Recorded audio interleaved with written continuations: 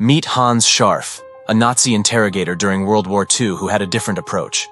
Unlike others, he didn't believe in hurting prisoners. Instead, he used kindness. His tactics included going on nature walks, sharing his wife's tasty treats, and having a drink together. He even let one American prisoner test a German plane.